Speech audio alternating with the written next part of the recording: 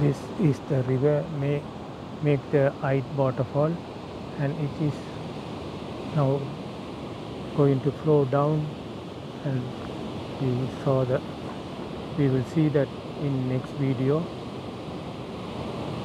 And uh, this is a trap to trap the solid parts uh, from the water.